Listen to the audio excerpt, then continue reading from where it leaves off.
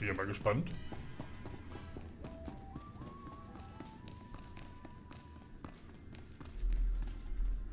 Jetzt aber nichts wie hoch.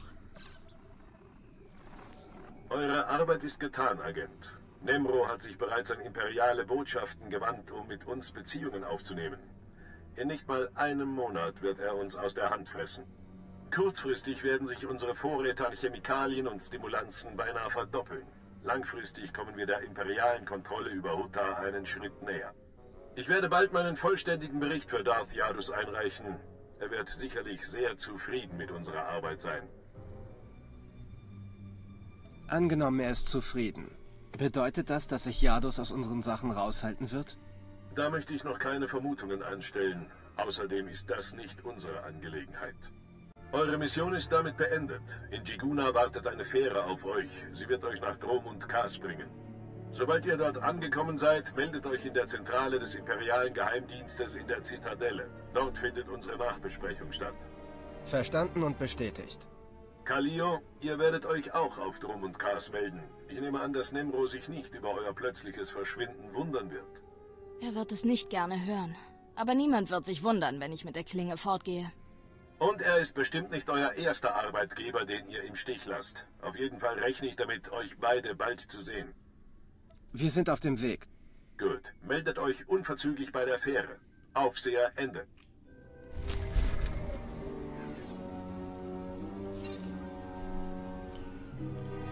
So.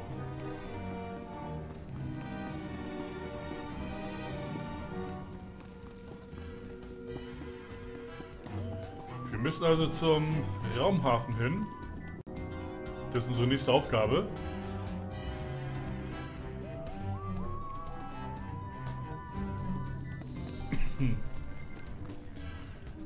ähm, warte mal Leute. Ich hole mal kurz den Kaffee. Bin gleich wieder bei euch. Nur eine Sekunde. So, da bin ich wieder. Auf geht's zum Raumhafen.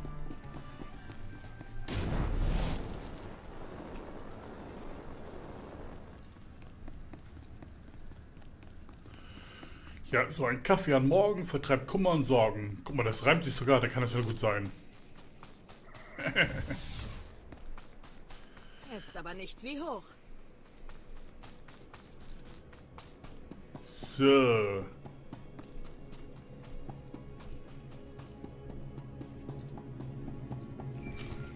Oh, soll mit jemand reden? Warte. Atrodo normales, smogas total gis baba apiatai. Schlechte Nachricht, wieso? Schlechte was? Wie schlecht ist sehr schlecht. Tatos irderes. Vataranai angomis akananoam, alas protas era. Oh oh, das ist sehr schlecht. Ihr habt gesagt, die echte Klinge ist weit weg. Was hat er herausgefunden? Smalsio poputus mana ira padare mananan kali. Atrodo normales, smogas total gis baba apiatai. Ich weiß den Ratschlag zu schätzen. Atolgi ai parkale tiam jamas. Graitai aptikte, iruprit bertini savasia savebe kaijis. Die echte Klinge ist auf dem Weg hierher, weil sie wahrscheinlich was ahnt. Vermutlich den Typen, könnt ihr euch daran erinnern, den wir damals Kohle gegeben haben, ganz zu Anfang, vor zwei, drei Folgen, in der ersten Folge, dass der uns vielleicht verraten hat. Das ist natürlich, ähm, könnte möglich sein. Ha. Ja, dann müssen wir gucken, was wir jetzt mit der echten Klinge machen. Die rote Klinge, da ist die echte rote Klinge. Jetzt aber nichts wie hoch.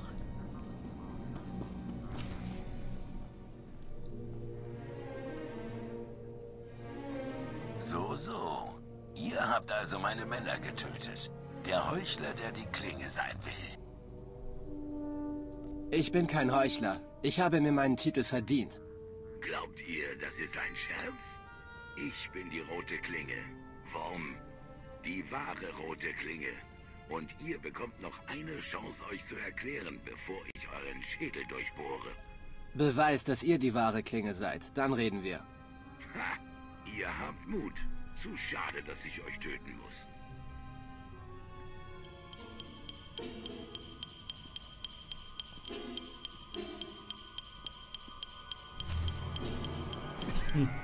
Die rote Klinge, ey.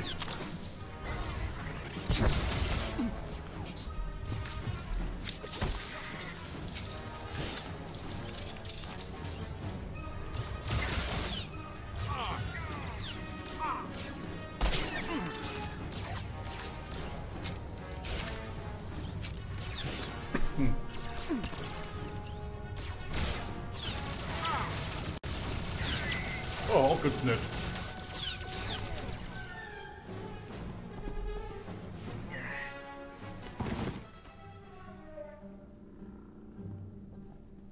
Verdammt sollt ihr sein.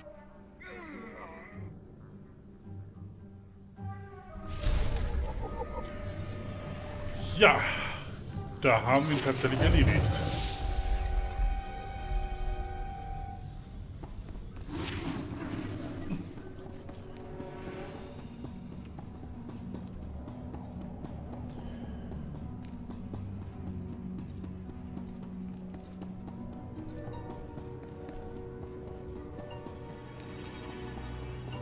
So, irgendwo Gegenstandsmodifikation. Wurde mal, wo ist die? Die müsste eigentlich hier draußen irgendwo sein, oder nicht? Ja, die ist da draußen. Das nehmen wir auf jeden Fall noch mit, weil dann kriegen wir noch was für unsere Waffe. Ja, jetzt kann keiner mehr herausfinden, dass wir nicht die rote Klinge sind. Haha. Wo ist denn das Ding jetzt hier? Wird ein bisschen Gas geben.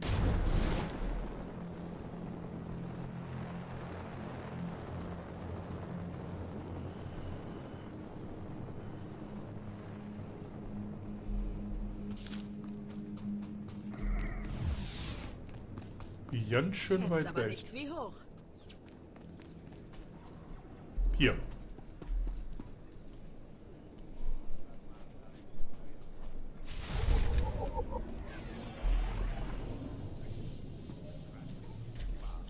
Genau das wollte ich noch haben.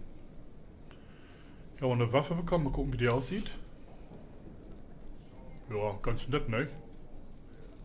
Aber den nehmen wir natürlich nicht. Aber ich will jetzt mal was aus... Ach. Was ausbauen. So, den Lauf nehmen wir raus. Ja.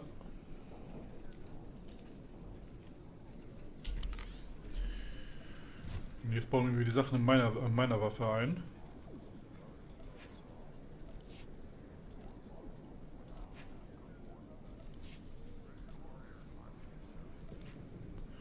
So. Sehr schön, sehr fein.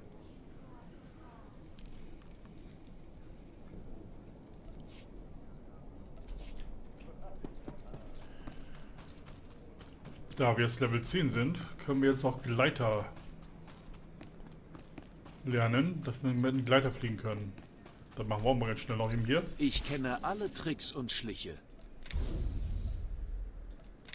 Sehr schön. Danke. Traut niemandem. Nein, das tun wir nicht. So. Also unser Hauptleiter wird werden. Wo habe ich das schöne Ding jetzt hier versteckt? Wo ist er da? Der hier.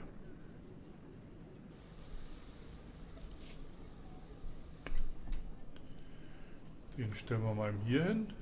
Der. Den werde ich dann auch in der Beschreibung dann euch erklären, also beziehungsweise äh, ähm, aufschreiben, ne, damit ihr wisst, mit welchen ich hier fahre, fliege, tue, mache. Sieht doch cool aus für einen Agenten, finde ich.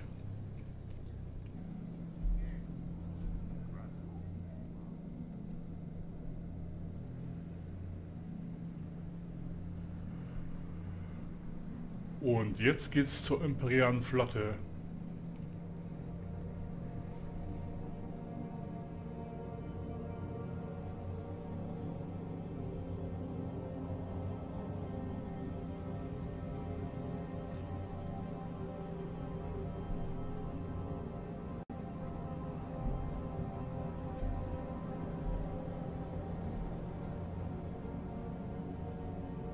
Auf Wiedersehen, Hotta.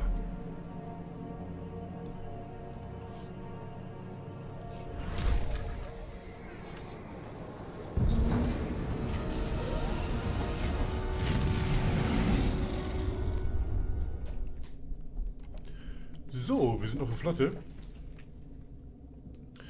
Das ist hier Calio. Warte mal, was geben wir? Ja, wir geben aber das jetzt hier.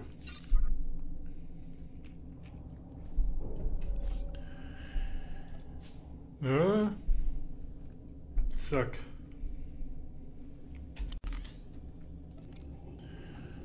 Kriegst du das angezogen? So, so, so, so. Ja, sieht doch gleich viel besser aus. Sehr schön. So, das packen wir mal dahin.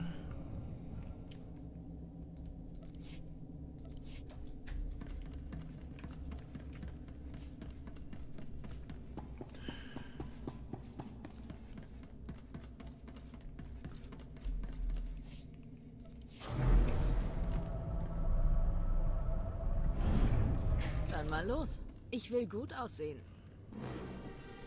So, wir sind jetzt auf der imperialen Flotte. Ich will erstmal jetzt losgehen. Ich mache erstmal kurz die Aufnahme kurz unterbrechen. Und erst einmal eben die ganzen Lehrberufe lernen, was ich haben möchte. Und so weiter und so weiter. Weil äh, das Rumklickern, das ist ja langweilig. Und ähm, ich werde mich dann vor der Fähre zu Drum und Cast, würde ich mich dann wieder, ja, bei euch einfinden. Dann bin ich wieder da. Also bis gleich, ist für euch ja nur eine Sekunde, ne? Für mich sind es wahrscheinlich jetzt 10 Minuten. Ungefähr, bis gleich. So, alles erledigt, da bin ich wieder. Und äh, ich würde sagen, jetzt geht's zu, ja genau, Drum und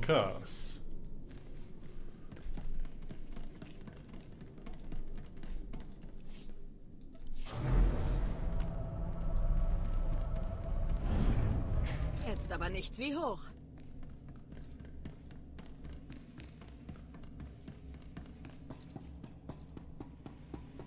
So, das muss auf jeden Fall die Fähre sein. Noch haben wir kein eigenes Raumschiff. Das bekommen wir erst, wenn wir in Drum und Cast alles abgeschlossen haben und weiter müssen. Sehr fein, warte mal im Aufsatteln. Hier müsst ihr, glaube ich, da lang.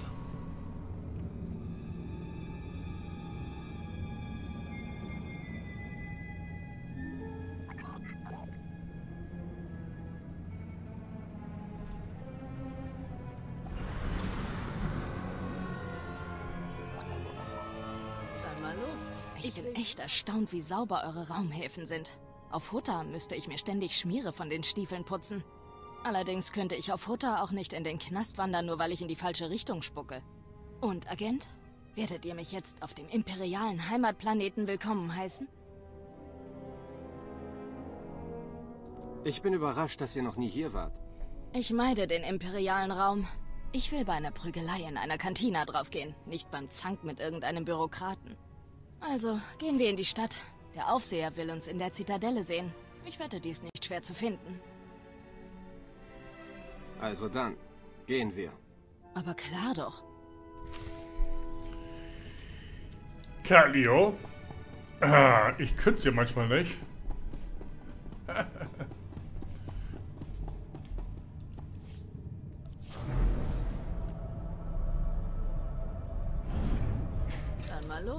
Ich will gut aussehen.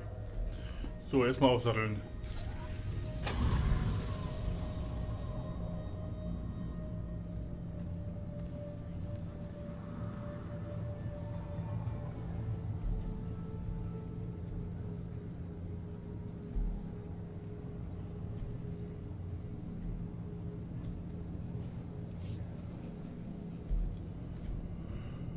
Raumhafengleiter und wir müssen zur Zitadelle. Zitadelle ist da, aber wir fliegen dahin. Genießen Sie Ihren Aufenthalt. Jetzt werdet ihr sagen, hä? Warum das denn? Ja, das hat seinen Grund. Werde ich gleich sehen. Ich wollte mal ein paar Umsonstpunkte mitnehmen. Auch wenn es nicht viel ist, aber... Ne? Geschenken Gaul, guckt man nicht ins Maul, wie war das noch gewesen?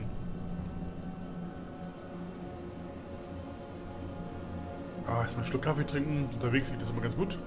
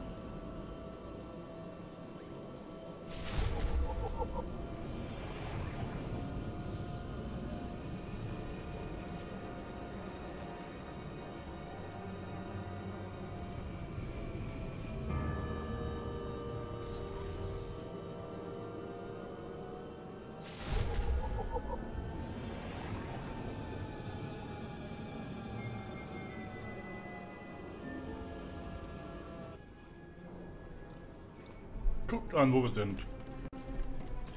Jetzt Mandalorianische Enklave. Da wollte ich jetzt erstmal hin.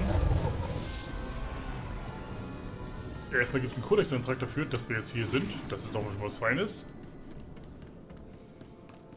Das gab erstmal ein paar Punkte und...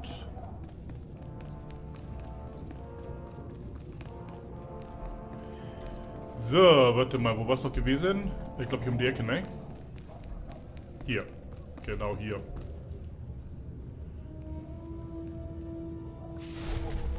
Ja, 1458 Punkte für umsonst. Das war feines. Auch Kleinviech macht Dreck.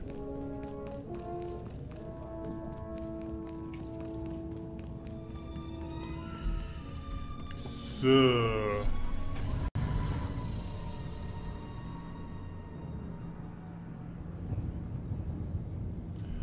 Jetzt düsen wir erstmal hier durch. Ah, wir müssen aber auf die ganz andere Seite, ne? Stimmt, wir müssen nicht in die Mitte, sondern wir müssen ganz rechts hin. Also ganz durchfliegen jetzt, egal.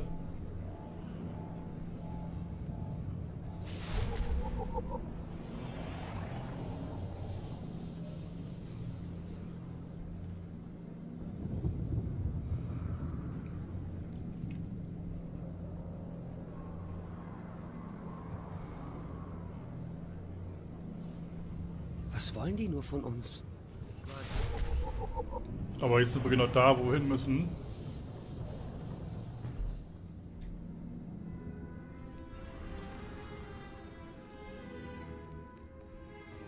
Jetzt aber nichts wie hoch.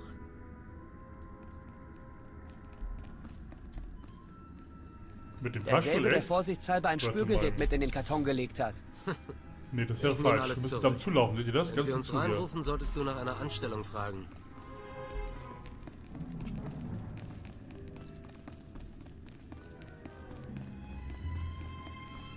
Also hier ganz lang.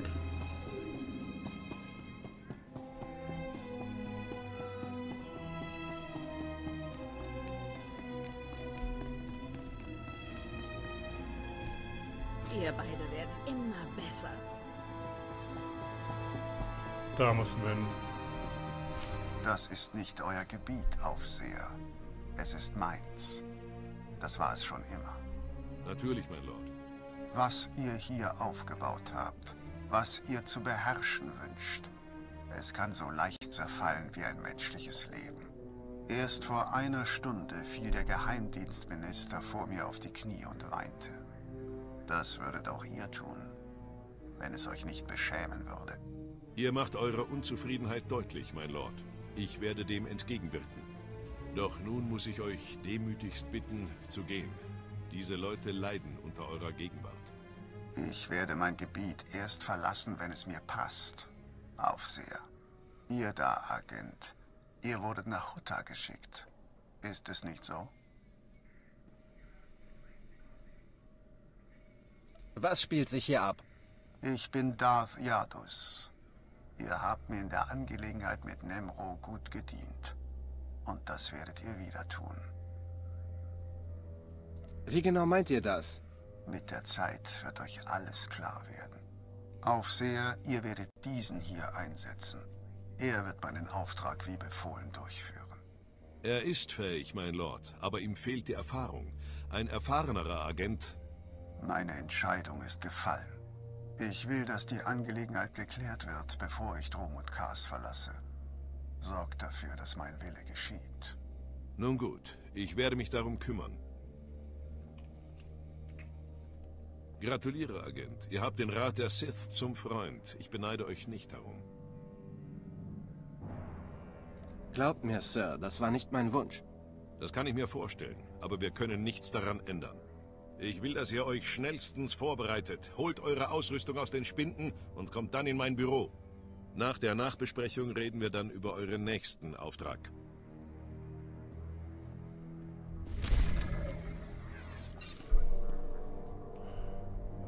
Also da, ist es mir jetzt schon unheimlich. Wer weiß, was da noch passiert, auf uns zukommt.